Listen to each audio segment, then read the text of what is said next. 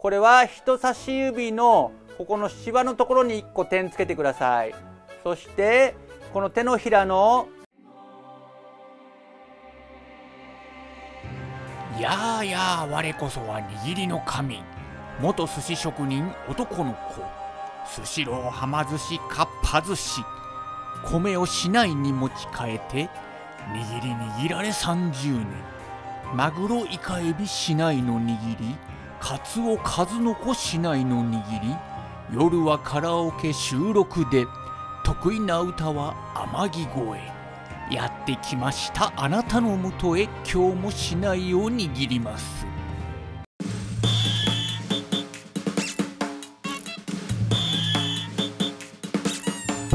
百秋武道具店の動画。こんにちは、百秋武道具店のうがです。やってますかおー剣道部に新入生が入ってくる季節ですね。今日の動画は、これから剣道を始める人たちへ向けて、僕が剣道を始めた最初、一番最初、1年目に知りたかった内容の動画になります。これを知ってるかどうかで、その後の上達が劇的に変わってくると思います。できれば最初のうちに知りたかった。これからね、剣道部に入ろうかなって人もいると思うし、もう剣道やってるよと、2年目、3年目だよ。もう中学生、高校生、大学生、大人の人だよっていう人ももいると思います。でもね、皆さんがね、これから剣道を続けていく上でね、必ず指導の先生に注意されることがあります。それは何かというと、市内の握りが悪いだったり、右手で引っ張るなだったり、力を抜けっていうことなんです。気持ちわかります僕もみんなと同じです。右手で引っ張り上げるような剣道をずっとやってました。少なくとも小学生の間は治らなかったです。それぐらい飲み込みが遅かったです。先生に毎回右手が強い、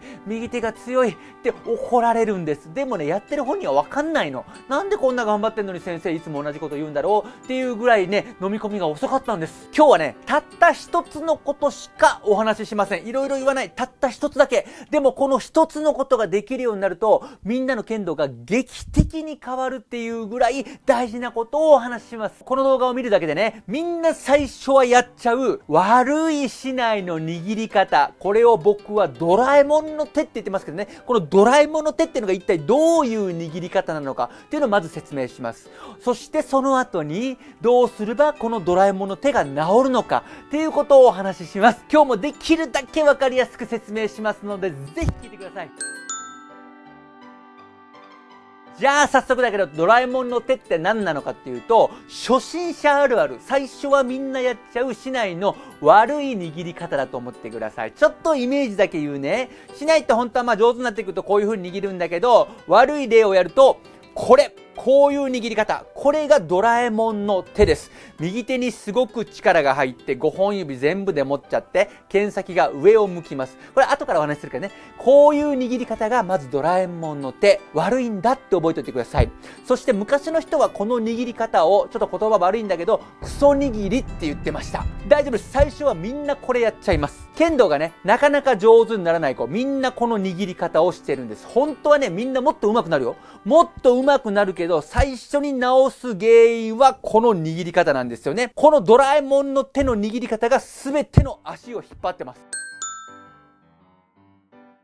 質問です。なんで初心者の人、市内を初めて持った人っていうのはみんなこういうドラえもんの手、クソ握りになってしまうんでしょうか？お考えください。はい。えー、答えはですね、これがもし市内じゃなくて、ただの棒だとしたら、このドラえもんの手の握り方こそが一番正しい握り方。自然な握り方で一番力が入る握り方なんです。ちょっとイメージしてください。えー、夜中道を歩いてて、暗い夜道です。コンビニの帰りです。急に悪い人に襲われそうになりました。うわ、やべそういうとこに、道端に棒が落ちてました。この棒でなんとか対抗しなきゃっていう時に、握った棒の握り方っていうのは必ずみんながみんなこういう、えー、ドラえもんの手になってるはずなんですよね。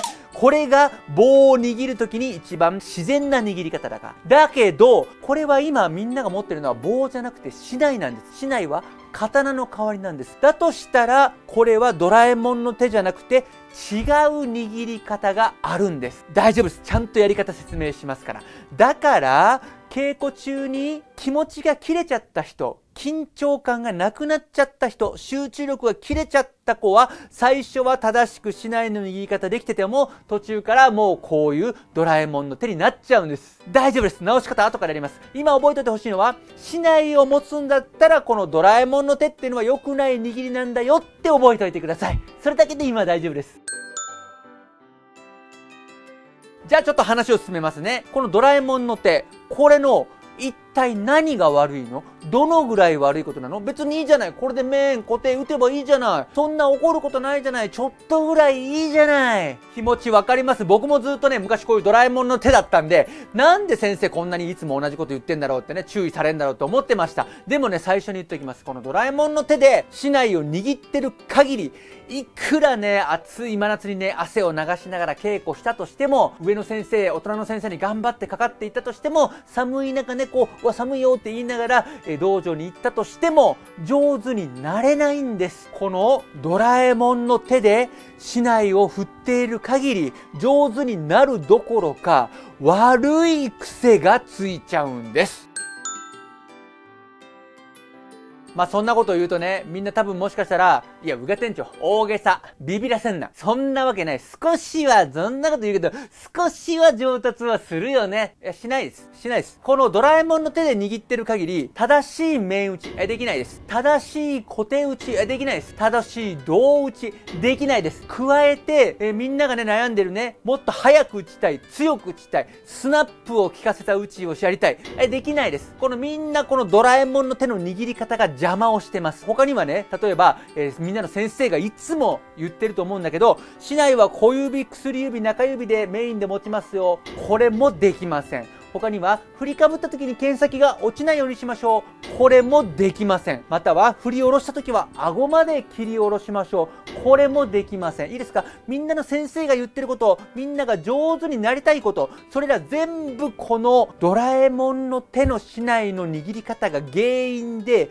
全部できないんです。そしてね、さらにさらに怖いことに、このドラえもんの手の握り方っていうのがね、これが悪いことだっていうのを気がつかないで、気がつかないで稽古を続けてると、僕みたいにね、小学5年生になってもまだこれで怒られて、えー、6年生になっても怒られて、中学生になっても怒られて、高校生になっても怒られて、大人になっても怒られて、それって嫌じゃん。こんな悲しいことないじゃない。だとしたら、今、今日このビデオの中で、このドラえもんの手の直し方、やりますから直しちゃいましょうよ。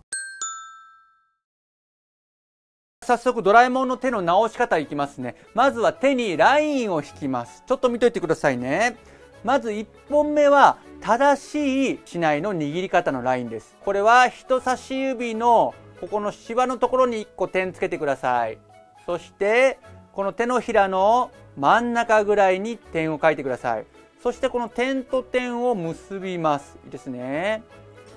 これが正しい、ここにね、市内が来るように握るのが正しい市内の握り方だと思ってください。大体のイメージね。そして悪い握り方っていうのが、今度はこの手に対してまっすぐ引いたこういう黒いラインね。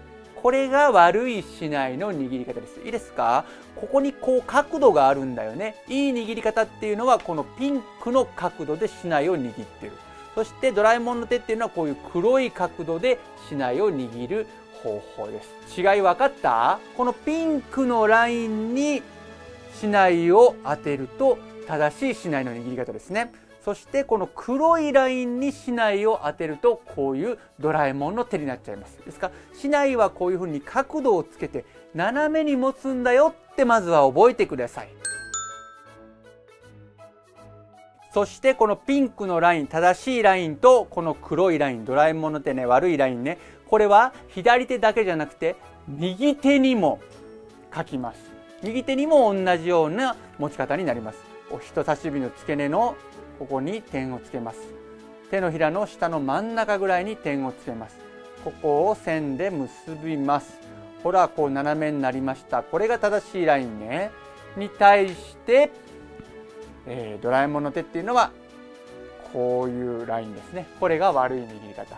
ねいいですか？このピンクのラインに右手も左手も来るように竹刀を握ると左手はこのピンクのラインに竹刀を合わせます。右手もこのピンクのラインに竹刀を合わせると自然に正しい握り方になります。そしてドラえもんの手になっちゃう人はこの黒いラインに竹刀を合わせます。そして右手もこの黒いラインに竹刀を合わせるとドラえもんの手になってしまいます。大丈夫ですか？手のひらに2本線が引けました？ここでイメージしてほしいのはこの僕で言うとこのピンクのライン。このこの向きで竹刀を握るとどんな人でも正しく竹刀が握れますっていうことなんです。この黒のラインに合わせて竹刀を握るとドラえもんの手になってしまいます。ですか？竹刀というのは手に対して角度をつけて角度をつけて握るんだよっていうことなんです。これさえ分かればもうドラえもんの手から卒業なんです。ピンクのラインに合わせて竹刀を握るっていうのはこれはできる人から見たらなんてことないんですよ。だけどね初めてこれまでずっとねこのドラえもんの手持ってた人が急にピンクのラインに合わせて持った時必ず最初こう思います。あれこれ合ってんのかな？なんかいつもと感じが違うな。どうも竹刀がすっぽ抜けそうだな。こんなので振って大丈夫かな？すっぽ抜けそう。大丈夫なんです。大丈夫。元に戻さないで合ってるから。このすっぽ抜けそうな竹刀の握り方こそがみんなの先生が言ってる小指、薬指、中指で竹刀を握ってるっていう状態なんです。だから合ってるから、このピンクの握り方で合ってる。ほら、いくよ。ピンクのラインに竹刀を合わせて、小指、薬指、中指で締めます。ほらね、みんなの先生言った通りになったでしょこの握り方が分かればもう何やっても大丈夫です。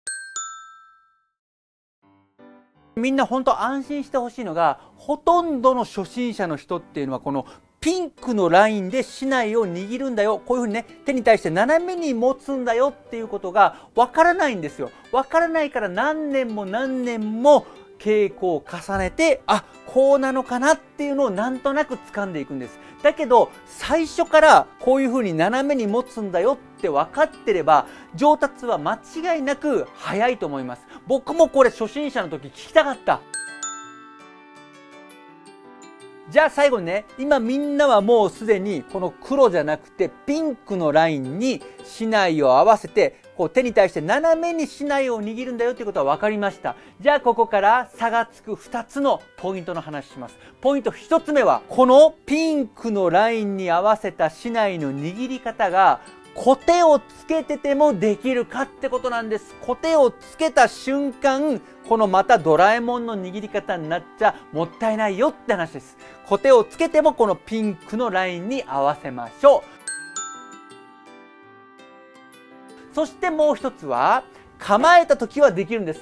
構えた時はみんなできます。だけど、振りかぶった時にこのピンクのラインがまた黒になっちゃうんですよ。振りかぶった時もこのピンクのラインに合わせたまま振りかぶれるかなっていうことなんですね。そうするとみんなの先生が言ってる剣先落ちるな落ちるなっていうことになります。この2つね、コテをつけてもできるかな？もう1つは振りかぶった時もできてるかな？この2つだけ確認してください。それでみんな一気に初心者脱出です。ドラえもんの手脱出です。いかがでした？以上が今すぐ上手になりたかったらドラえもんの手は卒業しようっていう話になります。僕のチャンネルではこのように小さい階段を少しずつステップアップしていけるような動画を配信しています。今日もご覧いただいてありがとうございました。またいつかお会いできる日をホームページが新しくなりました剣道具の選び方の動画が100本以上あったりかっこいい剣道具のウェブシミュレーションができたりします。無料カタログもこちらからプレゼントしています。ぜひ遊びに来てください。